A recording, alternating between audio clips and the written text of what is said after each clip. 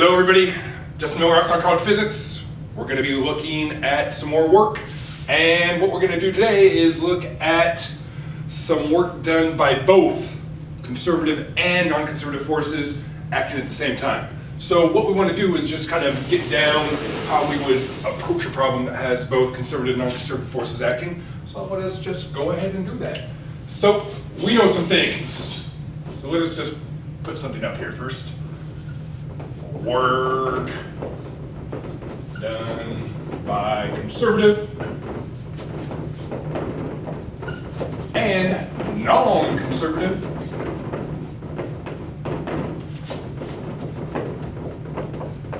forces. So for general, in general, we have that the net work done does what? That's right, produces the change in kinetic energy, delta K E. Nice work energy theorem there. So what can we do with this? Well, if we have both conservative and non-conservative forces acting, we could add up the works that they do, right? So let W sub C be the work done by conservative forces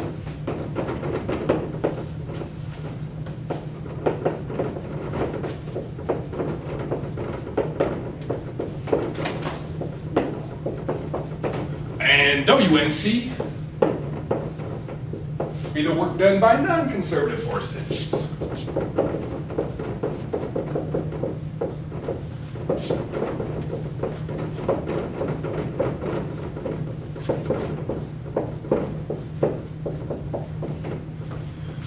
So what can we write? Well, we can kind of generalize this.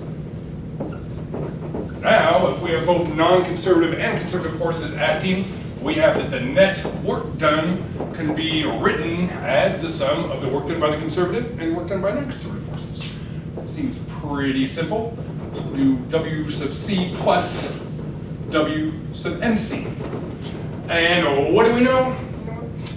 Um, doing capital and lowercase. I keep that lowercase, just like there. W sub NC. Well, we know that in general, the net work done produces the change in kinetic energy. So this is ultimately what sums up to produce the change in kinetic energy. Well, there's something nice about work done by conservative forces in that they can be recast in terms of changes in potential energy. For conservative forces,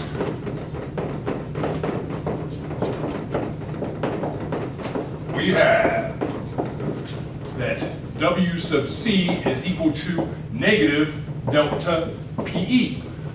We recast the change in potential energy in terms of the negative of the work done, or vice versa, negative sign of it. Any negative work done is really positive change in potential energy, stored energy. And positive work done is the release of that potential energy. Yeah, we'll just say Anyways, what can we do there? Well, we can replace this with a negative delta PE. So now we've got the net work done is equal to the negative of the change in the potential energy of the system plus the work done by non-conservative forces, and those two add together to produce the overall change in kinetic energy. Well, let us rewrite that slightly. I'm going to go ahead and throw the delta PE on the other side and write this out like this. Now we have delta KE plus delta PE is equal to the work done by the non-conservative forces. Look at that. The change in kinetic energy plus the change in potential energy of the system must equal the work done by the non-conservative forces. Oh, that's it. What happens if there's no non-conservative forces acting? That's equal to zero, and we have conservation of total mechanical energy. If there are non-conservative forces doing work, then, well, we have that the total change in energy is equal to whatever work that they do. If it's something like friction, that's always going to be negative. They're always, it's always taking away energy in the system. Taking away mechanical energy, transforming it in other forms. But we can have some applied force that's increasing the overall energy in the system. And in that case, we'd have that the total change in energy is, well, some positive value. So that's really it. This is what we end up with.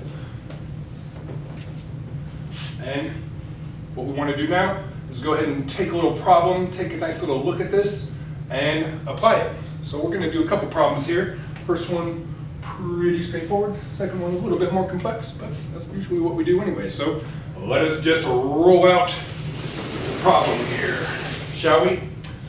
Here it is.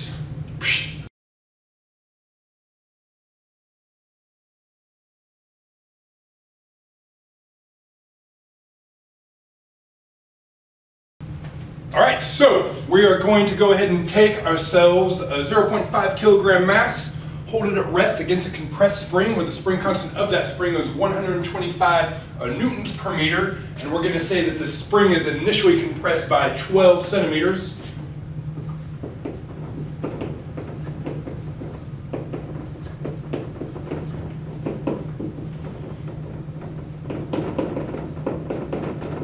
Zero point one two meters. And the mass is initially at rest. The initial is equal to zero, and then we're gonna release it. And part A, we're just gonna say it's frictionless. And part B, we're gonna say there's actually some friction going on. So part A, frictionless.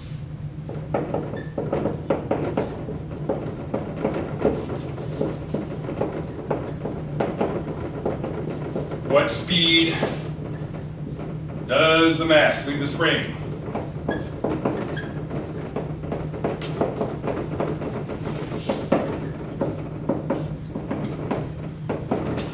Well, but in that particular case, if it's frictionless and this is a horizontal surface, we've got ourselves a conservative system, and we have that any potential energy that's initially stored in the spring is released into the mass.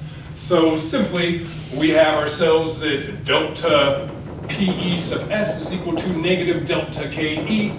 That is fine to write out like that. We can expand this out and say that PE sub S final minus PE sub S initial is equal to negative KE final plus KE initial, distributing the negative sign through the delta there.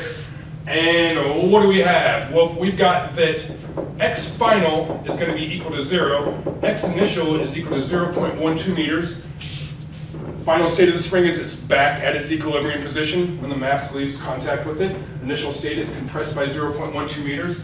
And then on this side, we've got ourselves that V initial, initial velocity, speed of the mass is zero, and we're trying to figure out what is the final speed.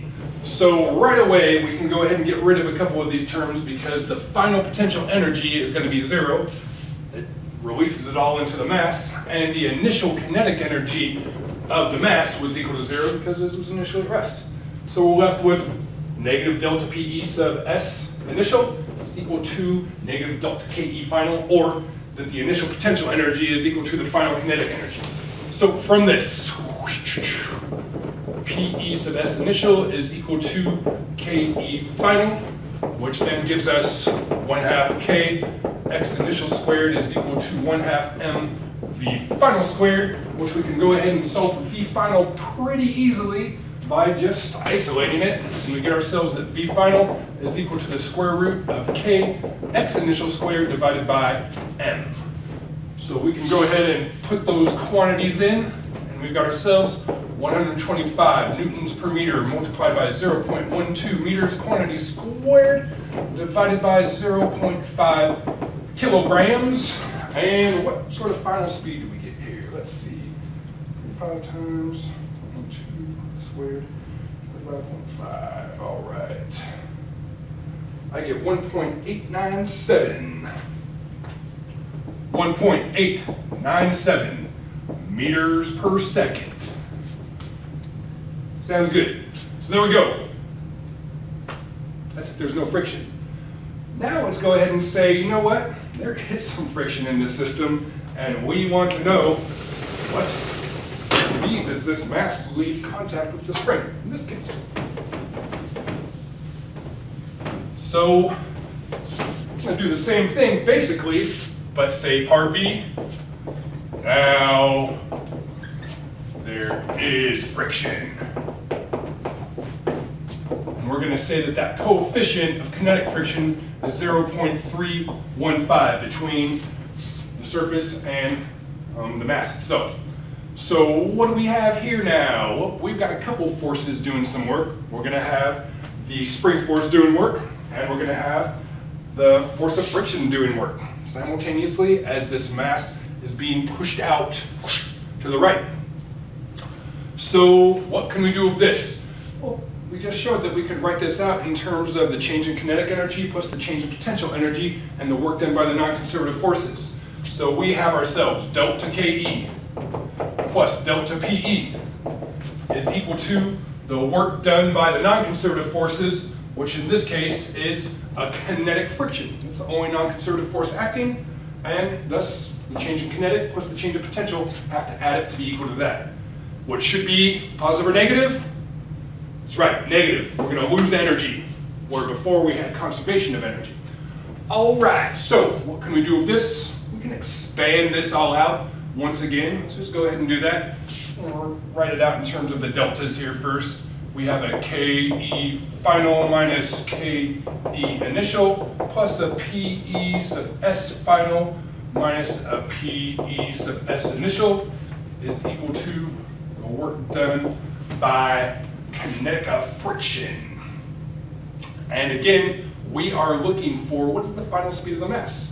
So we're gonna have to do some work here in a sense. So just as before, we've got these same um, boundary conditions in a sense. We've got the final elongation of the spring is zero. We have the initial is 0.12 meters. We've got the initial velocity of the mass is zero. And we've got that the final velocity of the mass is what we want to figure out. So we've got those things going on for us. And then we've also got the work done by friction. The work done by friction is going to be equal to, that's right, the force of friction multiplied by the displacement times the cosine of theta. So let's just write this out. The work done by friction in general is F sub k hat dot delta x hat, which can be written as F sub k delta x times the cosine of theta F sub k, where theta F sub k is the angle between the force of friction and the displacement. So I'm going to draw out a little diagram here so we can see what's going on here. We've got ourselves this mass here on the surface. Yeah, the spring's going to be pushing it. And what we want to note is that there is a force of friction acting on this object, F sub k, as this object is pushed 0.12 meters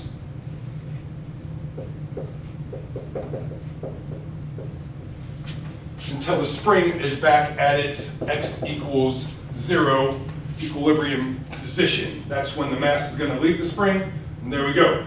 So what's the angle between f sub k and delta x? f sub k is that way, delta x is that way, thus cos, excuse me, thus theta f sub k is equal to 180 degrees. As always is the case with friction, right? So with that, we've got our work done by friction can be written as negative f sub k delta x. And we know that f sub k, the force of kinetic friction, is equal to mu k times n. Uh, this requires, we're calling some things here. So we've got ourselves this. The work done by kinetic friction is equal to negative f sub k delta x, which is then equal to negative mu k n times delta x. Then it's a matter of what is n? n's the magnitude of the normal force. This object is in a horizontal surface with only the spring force pushing it horizontally. Gravity pulling it down, the normal force pushes it back up. Thus the normal force must be equivalent in its magnitude to the gravitational force, mg. So we got negative mu k mg delta x. And there we go. what else do we have? We got one other thing with this. We've got that delta x is equivalent, again, to, well, x initial. Anyways, we know what delta x is. We know the initial compression state of the spring. We've got all this stuff right here. So with respect to the final state of the spring being um, well, back at equilibrium, we've got that PE sub S final is equal to zero. It stores no energy in its final state.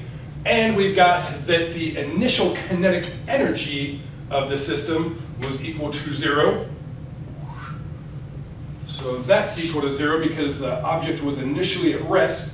Thus we have the final kinetic energy minus the initial potential energy must be equal to the work done by friction. So let's write that all out where the work done by friction is this right here.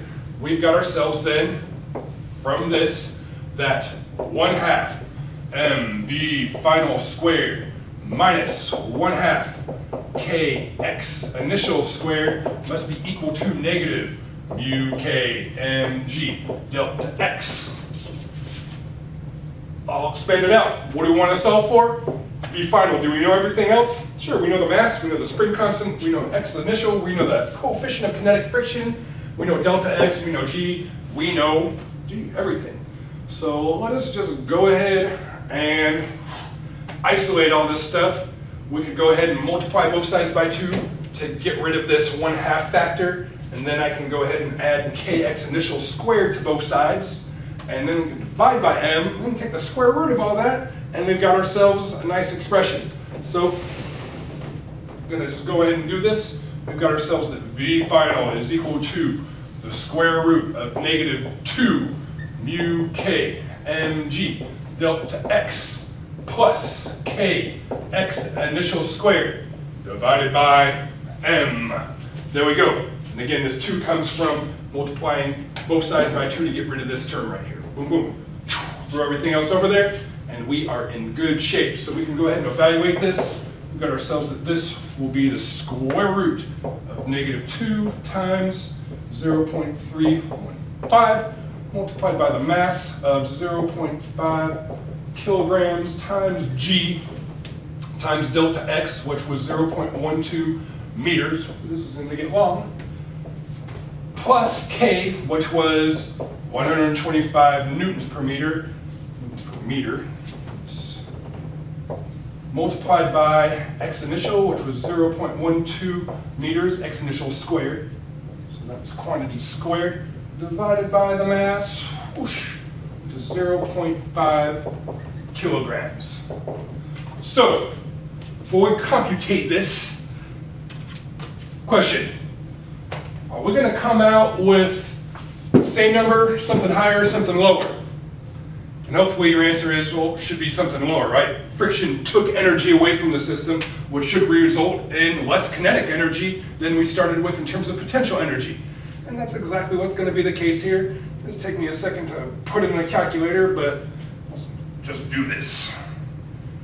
Careful with some parentheses here. 125 times 1, 2 squared minus 2 times 0.5 times 0.5 times 9.8 times 0.12, all divided by 0.5. I get 1.691. Ooh. 1.691 meters per second, which is less than this. Is it a whole bunch less? No. Friction only was acting over 12 centimeters. So it didn't do a whole bunch of work. But it did some, and it took some of the energy away, and that's it. So whenever we've got ourselves conservative and non-conservative forces acting, we can just go ahead and utilize this and